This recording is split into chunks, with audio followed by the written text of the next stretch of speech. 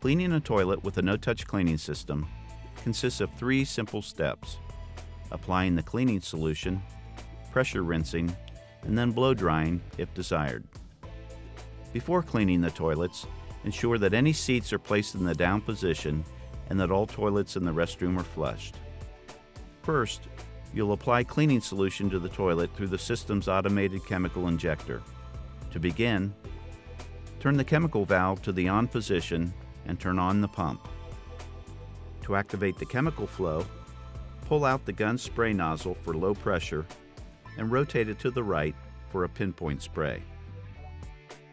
It'll take about 10 or 15 seconds for the chemical to make its way through the hose to the gun. So spray into a toilet or drain until the chemical is seen, and then rotate the nozzle slowly to the left for a fan spray. Use a sweeping motion to cover the fixture from the top down. Begin with the toilet tank or the chrome pipe and proceed to the top of the seat. Then, apply chemical inside the toilet bowl. Next, in a sweeping motion, apply chemical to the underside of the toilet bowl, making sure cleaning chemical is applied between the toilet seat and the rim of the toilet bowl. Be careful not to use too much solution during this step. The entire chemical injection process should take only 7 seconds per toilet.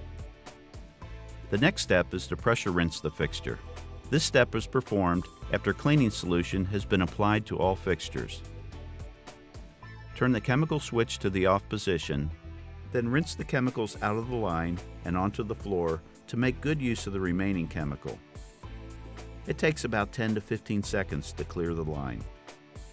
Always purge the chemicals in low pressure mode to avoid aerosolizing the chemicals. Place the spray gun in high pressure mode by pulling the nozzle back and rotating for a pinpoint spray. Pressure rinse the toilet in a top-down manner, beginning with the toilet tank or the chrome inlet pipe.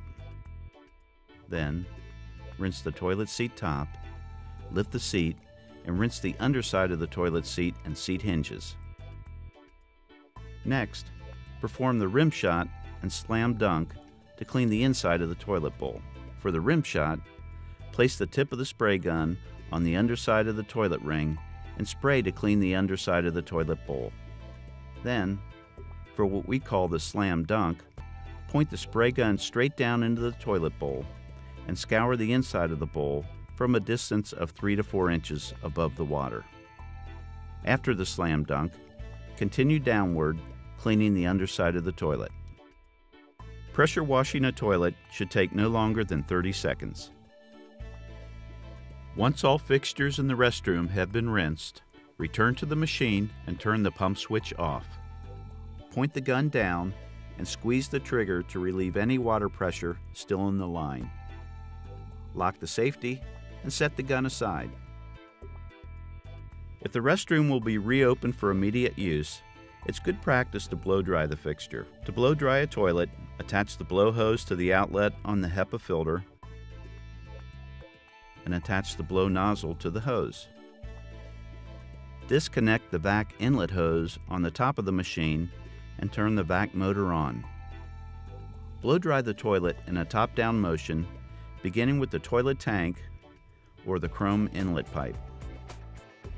With the blow nozzle facing away from the toilet bowl, Blow dry the top of the seat, being careful not to point the nozzle directly into the toilet bowl.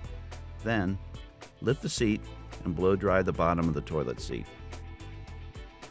For cleaning the floors around the toilet, refer to the floor cleaning video.